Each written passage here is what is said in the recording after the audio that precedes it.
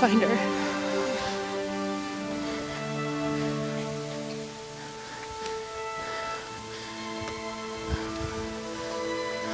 So, what's so important that I had to rush home from the market? Rachel and Salome would tell me nothing. What's going on, Mary?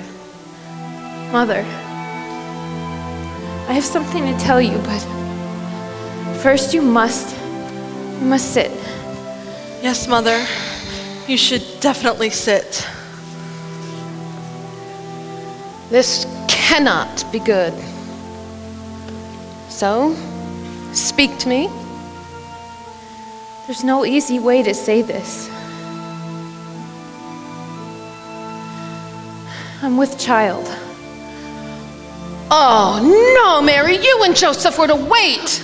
Mother, the baby's not Joseph's. What? What do you mean the baby is not Joseph's? What is Salome saying? Mary, tell me this is not true. It is true. No, the baby's no, not no, no, Joseph's. no, no, but it's not what no, you no. think. I have not played the harlot with any Oh, man. Then how can this be? That is what we oh. asked, Mother. Mary, tell her. Last night, I was in the garden and an angel appeared to me. An angel.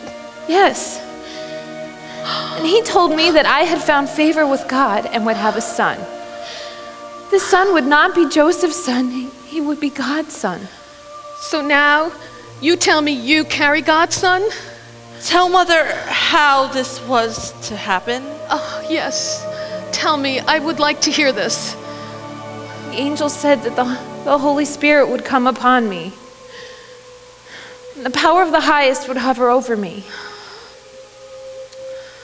Oh, Mary. My precious Mary. I don't know what to think of all this. What should I do? I need to think.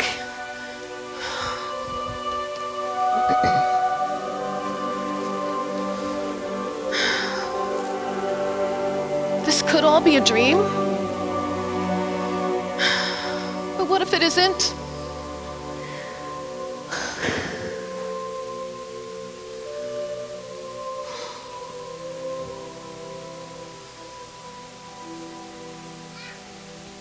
I know what we must do. You will speak to no one of this. No one. And you will leave at once. Leave? Where to? You will go to your cousin Elizabeth's house in Hill Country. You'll be safe there until we know what God would have come of all of this. Girls, take your sister, help her prepare for her journey.